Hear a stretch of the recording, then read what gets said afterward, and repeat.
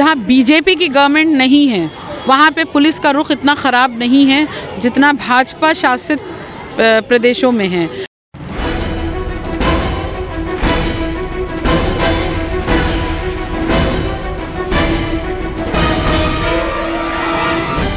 आपको भी गिरफ़्तार किया गया था क्या किया गया? नहीं गिरफ़्तार नहीं किया गया। ये इस तरह की जो धाराएँ लगी हैं उसमें वारंट इशू होता है गिरफ्तारी का। इसलिए गिरफ्तारी का कोई मसला नहीं हुआ लेकिन हाँ हमारे ऊपर धाराएँ डाली हैं पुलिस ने जो भी तो उसके लिए हम लीगल कार्रवाई कर रहे हैं।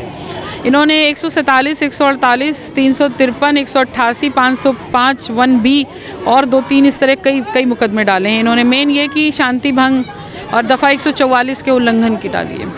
तो शांतिपूर्वक चल रहा था इसमें कहाँ शांति तो अब ये तो पुलिस समझ सकती है। और फिर अगर हम शांति भंग कराने की कोशिश करें तो अमित शाह जी ने कल क्या किया करके जो हज़ारों की भीड़ इकट्ठा कर ली।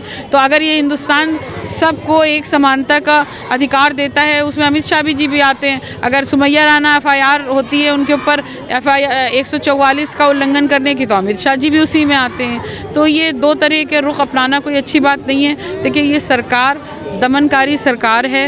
इस सरकार का मेन मकसद क्या है, वो सब समझ रहे हैं। इन्होंने कानून को ताक पे रख दिया है संविधान को ताक पे रख दिया है सिर्फ़ तानाशाही चल रही है। और ये जो उबाल है वो उस तानाशाही के खिलाफ है। जिस तरीके से यहाँ पर जिस तरीके से यहाँ पर प्रदर्शन हो रहा है कई राज्यों में भी हो रहा है। और अभी जैसे कि अभी यहाँ पर देखा जाए तो मीडिया पर जो बात चल रही है कि इसको रोकने के लिए बहुत सारे प्रयास किए गए और बहुत सारी ऐसी प्रॉब्लम्स भी क्रिएट किए इस पर क्या कहेंगे?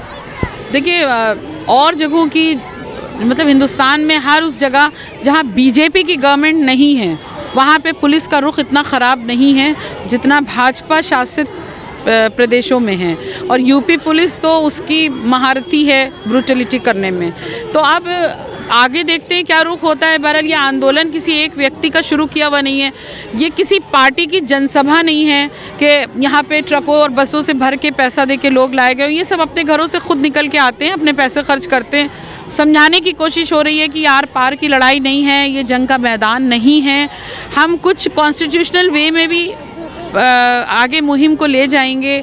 यहाँ से कैसे क्या किया जा सकता है इस पर मुस्तकिल नज़र रखी हुई है। लोगों से बातचीत चल रही है ये ना मैंने शुरू किया था और ना मैं ख़त्म करने की हैसियत में हूँ इसके। जानकारी मिल रही है कि कुछ लोगों के द्वारा आपको धमकी भी दी जा रही है मुझे पिछले दिनों एबीवीपी का कोई बंदा था कोई सचिन नाम था, उसने जो है मुझसे फेसबुक पे बहुत धमकी भरे अल्फाज इस्तेमाल किए थे। जब मैंने जे एन यू जिंदाबाद का नारा दिया था तो उसने जे एन यू मुर्दाबाद लिखा और उसके बाद मैंने कहा कि better you go out of my friend list तो उसने बोला कि, ठीक है, मैं आता हूँ एफ़ आई टावर औकात दिखाने के लिए।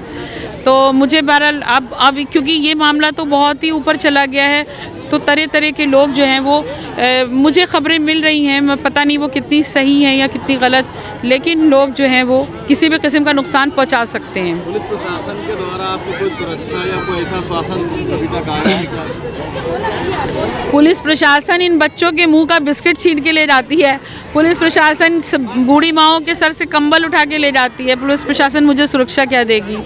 वो कोई मसला नहीं है।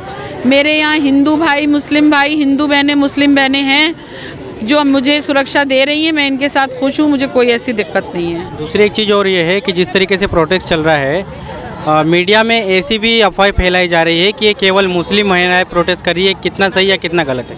आप देख लीजिए आप देख लीजिए। एक मिनट मैं बुलाना चाहती हूँ आप ये मेरी मुस्लिम बहन आपको दिखती है। ये इल्ज़ाम शुरू शुरू से लगाया जा रहा है कि मुसलमानों का प्रोटेस्ट है, बिल्कुल भी नहीं। हाँ ये शुभांगी हैं। तो आपको ये लग, अगर ये लग रहा हो, ये सरोजनी है। आपके सामने आ रहे हैं ये लोग। रामदत्त त्रिपाठी सर खड़े हुए हैं।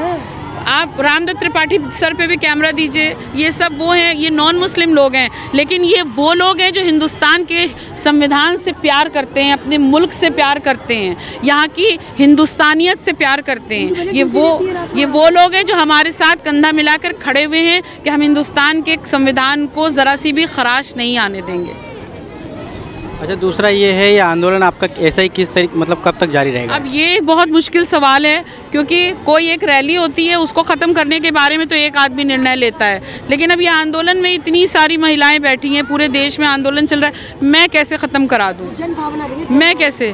हम लोग सरकार ने तो सरकार ने तो अभी ये भी क्लियर कर दिया है कि अभी हम इस कानून से एक इंच भी पीछे नहीं हटेंगे ऐसे पे क्या कहें देखिए, सरकार से ऊपर भी कोई चीज़ है जिसे सर्वोच्च न्यायालय कहते हैं, हमारी पूरी आस्था है उस पर। आज का फैसला अगर आप देखें तो सर्वोच्च न्यायालय ने ये क्या कहा कि चार हफ़्ते का समय दिया है सरकार को।